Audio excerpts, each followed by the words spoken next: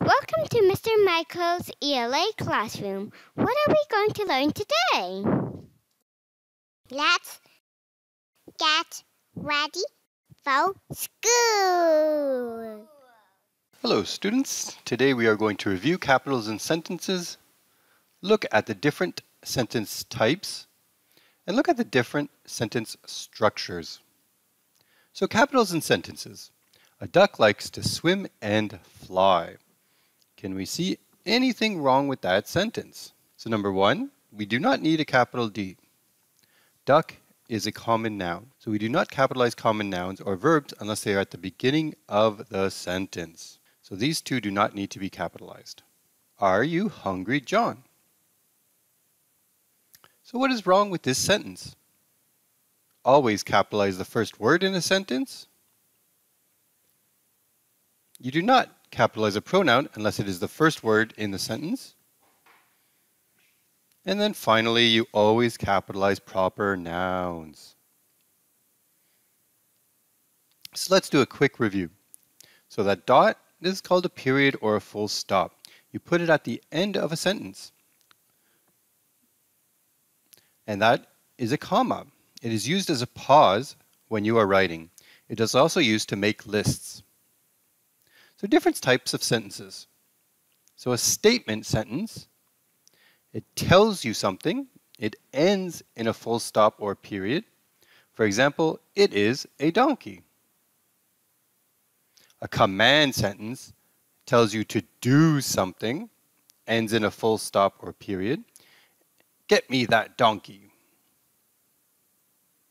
A question asks you something, ends in a question mark. Is it a donkey? And exclamatory tells you something exciting, ends in an exclamation point. Watch out for that donkey. So you see how the voice changes depending on the type of sentence. So the different sentence structures. We have simple sentences, compound sentences, and complex sentences.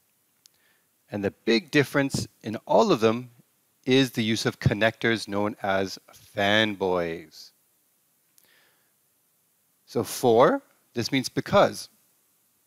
And, in addition to, you can read the sentences on your own. Nor means and not. But means however. Or means either.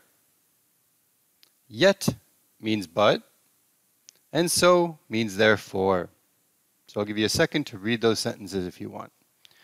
But when you look at the first letter in each of those little words, those little connecting words, it comes up with fanboys. And that's why the acronym was created. So a simple sentence. A simple sentence has no fanboys in it. I can see a cat. I like to eat chicken. Today is my birthday. We are going to the mall. I am happy today. There is a test today. These have no fanboys in them. So a compound sentence is different. It has a simple sentence plus a fanboy plus another simple sentence. So it's like two simple sentences connected by a fanboy. I can see a cat and I am happy today. I can see a cat, full stop. That's a full simple sentence. I am happy today. Full stop. That is a simple sentence. So I'm connecting two simple sentences with a fanboy. I like to eat chicken, but I don't like to eat beef. My friend is 20 years old and she likes to eat noodles. A complex sentence is a bit different. It has a simple sentence plus a fanboy plus a part of a sentence.